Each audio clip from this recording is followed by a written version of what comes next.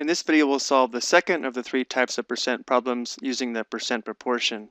And the key for setting up the percent proportion is that if we're given the percent, we'll write the percent as a fraction over 100 as we see here.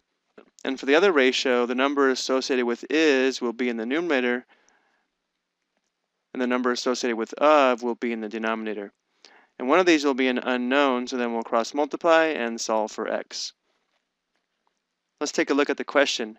36 is 15% of what number? So notice how we're given the percentage. So we'll have 15 over 100 as one of the ratios. Then notice how we have 36 next to is here, which means 36 will be in the numerator of the other ratio. And then we have of what or of what number, which tells us the number associated with of is the unknown, so we'll use a variable here in the denominator. So once again, we'll have 15 over 100.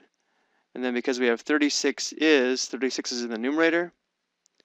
And because we have of what or of what number, we'll have a variable for the denominator, which we'll call x. And now we cross multiply and solve for x. So 15 times x must equal 36 times 100.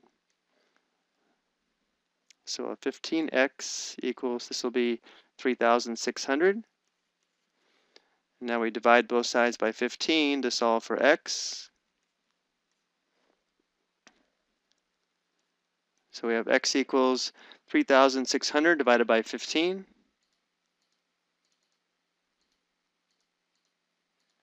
We have 240. So what we found is that 36 is 15% of 240. We'll solve the third and the last type of percent problem using a percent proportion in the next video.